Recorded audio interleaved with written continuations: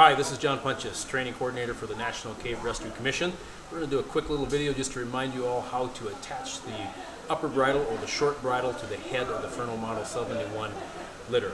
We're going to start with 11 feet or about three and a half meters of 11 millimeter or 7 16 rope. We like stuff that has a good sturdy sheath for that. We're going to find the center of that and then we're going to put in a figure eight bight with a nice short bight. We could also use a butterfly knot in that location. So there I am. I'm going to orient that so that if I think about the litter coming up over a lip, that we're going to have a nice smooth transition. We don't want to catch on that, that part where the knot traces across itself. I'm going to split the two legs neatly across and I'm going to run them into the upper handles on my litter coming in from the outside, from the downside, and then back through the loop that I have established there. So now we're going to tension that and make sure that we keep that attachment point centered on the head of the litter. Now at this point, I'm going to take my tails and I'm going to run them back in exactly the same direction as I had before and back through the two little ears that we've created in that process.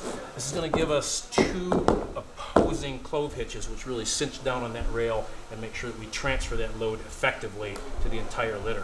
We're going to terminate these two tail ends of the the bridle together with a double fisherman's knot. So I make my first side there, kind of toward the center of that. Okay, and then I'm going to do another opposing double overhand here.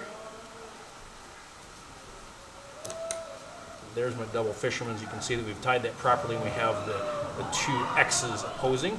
Rotate that down, cinch in a little bit on each side, give it a good pull once that stretches out and loads, you can see that we're going to end up with approximately a 90 degree angle in our bridle, which is where we like to have as a starting point for it loads. When it loads, it's going to get a little bit longer, but this gives us a great starting point and allows us to attach our ropes, our rigging to the litter in a very effective manner. So again, this is the upper bridle on the Model Ferno 71 Ferno litter.